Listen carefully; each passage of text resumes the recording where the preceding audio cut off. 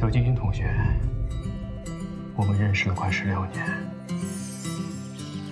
迪图，你现在缺女朋友吗？你觉得我怎么样？不好意思，我暂时不想找女朋友。你真的跟人家表白被拒绝了？好久不见。好久不见。过去这么多年了，到底对人家有没有意思啊？不会是人家不喜欢你吧？我一直在想，我能给他什么？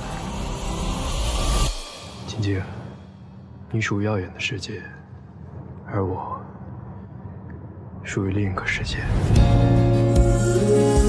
如果有一个人，他跟你告别，但是他却偷偷的给你准备生日礼物，这是为什么呀？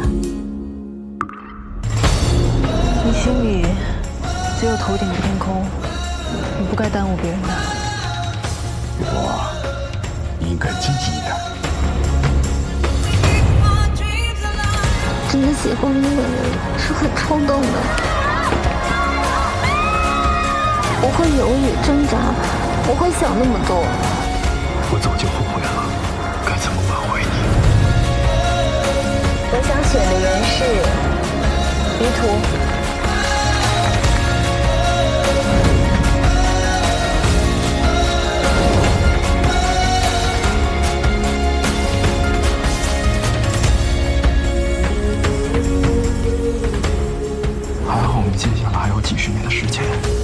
把接下来的事情都交给我。